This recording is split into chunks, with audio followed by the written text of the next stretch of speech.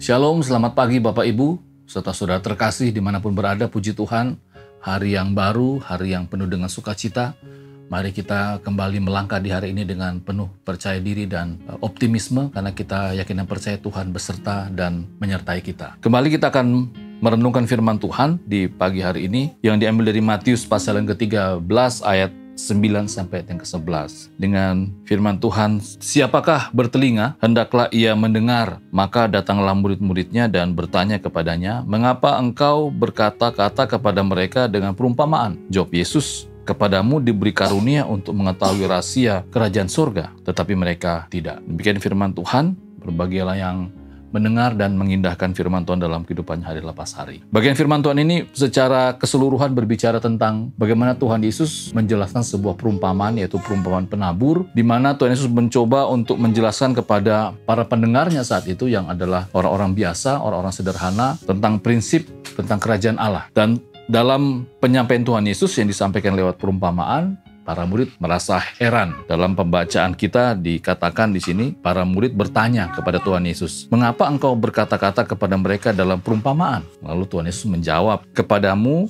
atau kepada para murid diberi karunia untuk mengetahui rahasia kerajaan surga. Kepada mereka tidak." Dalam terjemahan lain dikatakan, karena mereka belum diizinkan memahami ajaran-ajaranku tentang kerajaan Allah. Sedangkan kalian sudah diberi izin untuk mengerti hal-hal yang dahulu dirahasiakan dari semua manusia. Puji Tuhan Bapak Ibu terkasih, dalam pembacaan firman Tuhan kita ini, kita sebagai murid-murid Kristus, kita adalah orang-orang yang sudah diberikan karunia. Karunia apa? Yaitu karunia untuk mengetahui rahasia kerajaan sorga. Atau Tuhan itu sudah mengizinkan kita memahami ajaran-ajaran tentang kerajaan Allah. Wah, ini menjadi sebuah uh, kabar sukacita bagi kita semua sebagai para murid. Pertanyaannya apakah kita menyadari akan hal itu? Apakah kita sebagai para murid sudah menyadari bahwa karunia istimewa ini sudah diberikan kepada kita? Dahulu memang saat kita belum percaya, kita belum diizinkan tetapi sekarang, saat kita sudah percaya bahwa Yesus Kristus adalah Tuhan, kita pun sudah diberikan izin mengerti, memahami tentang rahasia kerajaan Allah.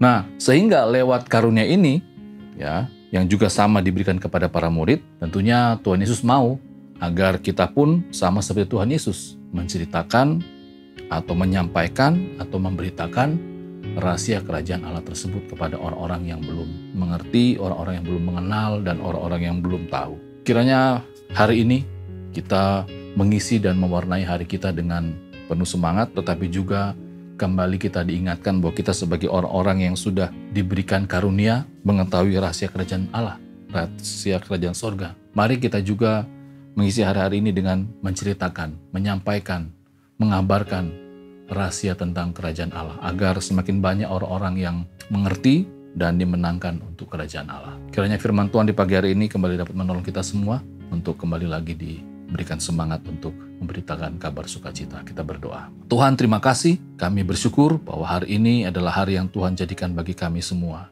Dan kami juga bersyukur bahwa kami adalah orang-orang yang sudah menerima karunia daripada Tuhan.